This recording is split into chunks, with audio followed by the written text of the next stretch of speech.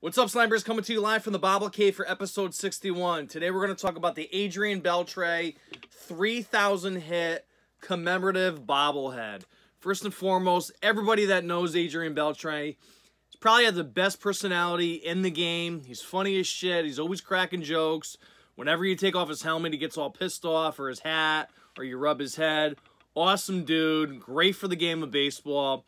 Just recently, this past year, he uh, accomplished a um, 3,000 hit mark, and Foco decided to come out with a commemorative 3,000 hit bobblehead of Beltre. Um, you got the raised kind of black gold letters on the front of the base, which is really cool.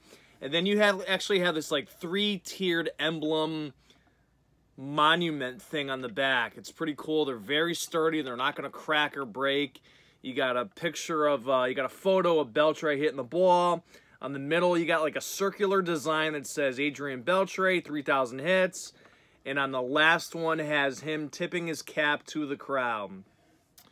The thing that makes this bobblehead is his swinging pose where he swings the shit out of the ball and uh, he kind of falls to the ground and with the one knee. Awesome, awesome pose like that.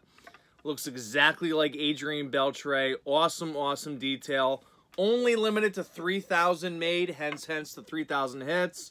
You're going to want to get this in your collection. I would not steer you wrong.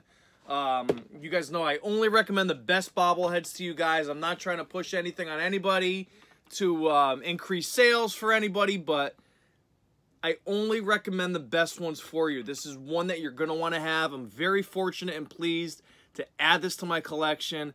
Once he goes into the Hall of Fame, you're not going to see this one anymore unless you search on eBay and you're going to spend 80 to $90 on it easily. I would recommend Bobblehead Hall of Fame. They'll ship it to you for like $8. Only 3,000 made. Awesome, awesome collectible, guys. Make sure you add it. Follow me on YouTube, Twitter, Facebook, all social media outlets. We'll talk soon, snipers. Take care and keep working hard.